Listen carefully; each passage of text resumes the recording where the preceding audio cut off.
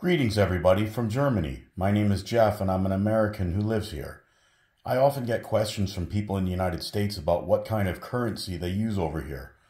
Well, Germany used to have the Deutschmark, and they had pfennigs, which were like cents, 100 pfennigs in a mark.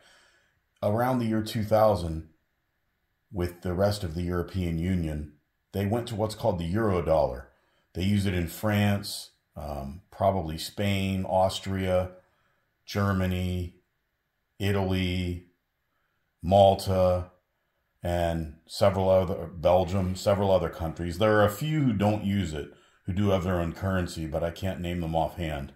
But anyway, they have different denominations, and it works differently than in the United States.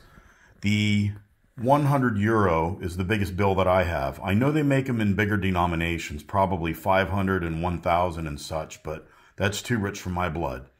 The next lower one is the 50. Okay. Then you have the 20. This is a 20 euro note. Then below that you have the 10 euro note. And below that you have the lowest paper currency, which is 5 euros. Here's how they all look up next to each other. They're different sizes and different colors unlike the US dollar, which is all green and they're all the same size. Now, below that, they have coins. That is two euros right there. And it's maybe a little bigger than a quarter. They have the one euro front and back there, which is a little smaller than a quarter. And then they have the 50 cent piece right there, front and back.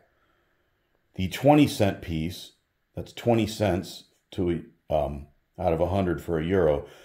They don't have a quarter here. They don't have a 25 cent piece. Then below that, they have the dime.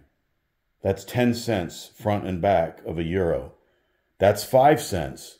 For some reason, the five, the 5 cents is shinier than the 10 cents, but okay, that would be like our nickel. Here is a 2 cent. This is 2, and this is 1 cent. That's 1 cent of a European dollar. Um, right now, the exchange rate with the euro is about a dollar eleven United States currency to one euro dollar. When I got here in August, it was 97 American cents to a dollar. So the value of the dollar has fallen slightly against the euro, probably because of the amount of fiat currency that our U.S. Federal Reserve System has printed, and it slightly devalued, devalued the dollar. But nonetheless, uh, Nothing spectacular. I just laid this out on a blanket on the bed, just sharing it with everybody who was curious. I've had several of my friends in the States ask me about this. And I do find that the uh, different sizes is kind of, I don't know, it's harder to get it to fit correctly in your wallet. But, you know, you get used to it. And the coins, I still have trouble with counting it. But I have never once, ever been given the wrong change back at a store the cashiers in there are pretty fast. So anyway, hope you liked the video. If you didn't, that's okay too. Hopefully you learned something from it. Um, anyway, have a great afternoon.